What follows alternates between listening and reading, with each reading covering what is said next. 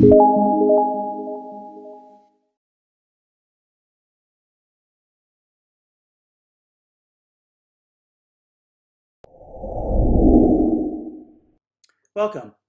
In this video, I'm going to demonstrate the workload list as well as the sign queue in Meditech Expanse.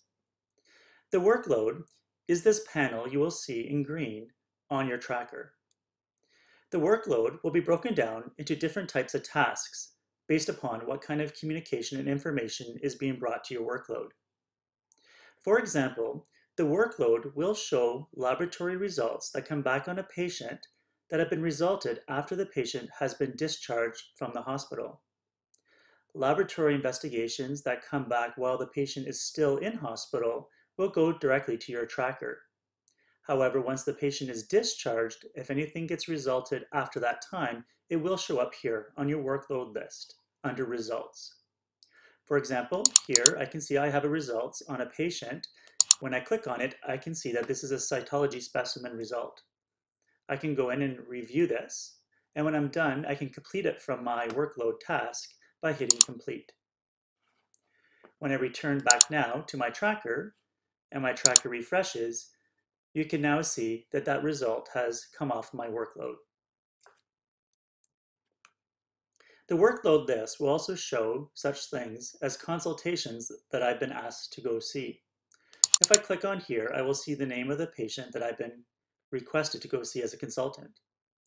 If I click on it, it will tell me the reason for the consult, and I can go ahead and jump into the patient's chart and review any documentation or other laboratory investigations on the patient.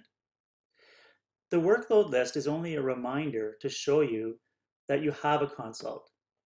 You can complete the consult over here, which will take the patient off your workload list. This, however, will not complete the consult.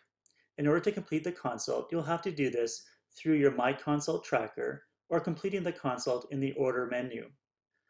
By completing the consult when you press this button, we'll remove the patient from your workload. As you can see here, the patient is no longer on my workload list. Up on the top navigation bar, you will see the Sign button. The Sign button is your sign queue for pending orders and documentation that needs to be signed off.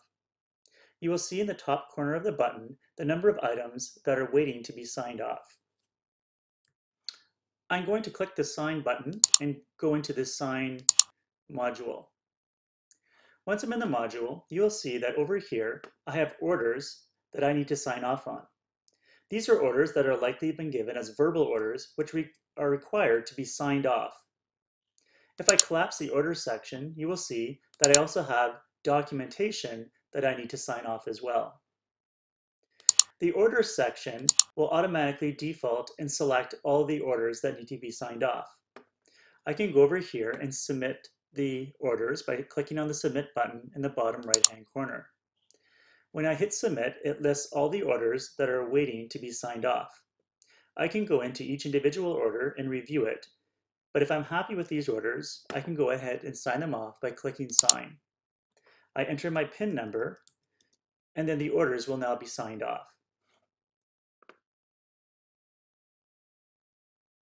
Once the orders have signed off in the system, they will now clear from my sign list. Similarly, if I have documents that need to be signed off, I can select them here. Unfortunately, at this time, you cannot select all the documents by hitting one button. You can, however, quickly select all the documents that you want to review by clicking beside them. Once you've selected the ones you want to sign off, you would hit the Submit button down here in the left hand, right hand corner. When you hit the Submit button, it's going to list all those documents that you have queued up for signing. I can now go ahead and hit the sign button and enter my PIN number to sign these documents off.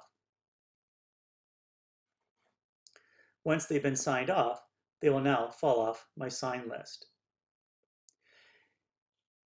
If I have some documents here that I want to sign off, but I do want to edit them and make changes to them, you can do this directly through the sign queue as well.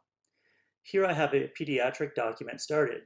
If I want to go in and make changes to this document, I could select the Edit button to go in, bring up the template, and continue making any changes I need to make. I can then, after I'm done, go back over to the Submit button in the bottom right-hand corner, hit Submit, enter my PIN number, and then once again sign off those documents. It is important to remember that documents that are in a draft state do not get copied to any of the providers outside of the hospital until they are signed off. Please remember to try to keep your sign list up to date. Thanks for watching.